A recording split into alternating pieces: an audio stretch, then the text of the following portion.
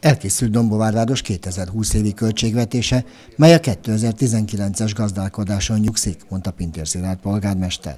Nyilván ebből adódóan nem árulok el titkot, hogy 300 milliós hiányjal tudtuk elfogadni. 3,5 milliárdos költségvetésünknek sajnos csak elenyésző százalékát tudjuk fejlesztésekre fordítani. Nyilván, hogy a költségvetés egyensúlyt meg tudjuk teremteni, mi sem tudunk új eszközökhöz nyúlni. Az önkormányzat tulajdonát képező, hosszú évek óta értékesítetlen ingatlanjainkat tettük meg a bevétel oldalra, és nyilván a, annak reményében, hogy ezeket előbb-utóbb el tudjuk majd adni. Természetesen, mint amikor a választások után most is el kell mondanom, központi kormányzati segítség nélkül Jadonvári problémát nem tudjuk megoldani, csak elodázzuk. Ami örömérés nyilván a költségvetésünket nem fogja érinteni, de mindenféleképpen reményt ad, hogy elindulhatnak azok a központi állami beruházások, amelyeket ígéretet tettem a választás idején. A térségi szabadidőközpont, az, a kórház, STK rendelőjének a felújítása, illetve az új mentőállomás megépítése. megépítése. A közeljövőben a tervezéseket el fogjuk kezdeni, és nyilván aktuális kormánytárcákat megkeresünk, hogy ezt a beruházásokat tudjuk Dombváron realizálni. A 300 millió forintos hiány csökkentése saját erőből képtelenség, tette hozzá Pintér Szilárd. Erre csak akkor van bármilyen esély is, ha a kormányzat segítséget nyújt. Országgyűlési képviselőnk hétfőn Orbán Viktor miniszter járt, vele is tájék, őt is tájékoztatta a dombári problémákról. Nyilván a tegnapi nap folyamán én Pintér Sándor belügyminiszter úr is eljutottam a levelemet. Én azt gondolom, hogy ennél magasabb szinten dombár problémájával már nem tudnak foglalkozni.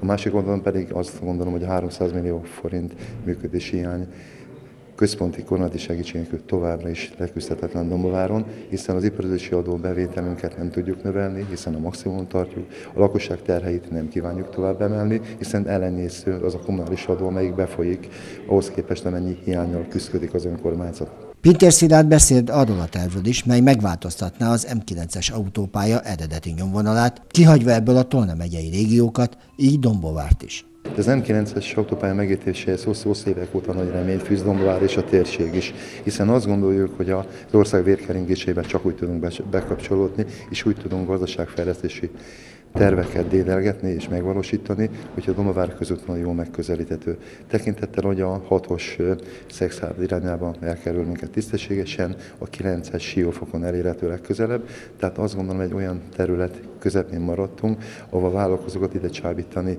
igen nehéz, hiszen számukra a legfontosabb, hogy az áruk gyorsan és zökkenőmentesen tudjanak mozogni. Nyilván bízom benne, hogy az eredeti nyomvonalhoz vissza fogunk térni, hiszen a számukra nagyon nagy segítség lenne, hogyha Szexádról a hatosra rá tudnánk menni, illetve hetes is nagyon közel kerülne hozzánk, és mindenféleképpen autópályás kapcsolattal tudnánk a befektetőket Dombváros a térségbe hozni. Ha ez mégis így lesz, akkor a minimális program, hogy megvalósuljon az a régi terv, mely a Dombovárt elkerülő út megépítését célozta. Ez lehetőséget teremt a nemrég elkészült 67-es útra való rácsatlakozásra, és így hamar elérhetővé válik a 7-es autópálya, mondta Pintér Szilárd, hozzátéve, ez valóban csak a B-terv.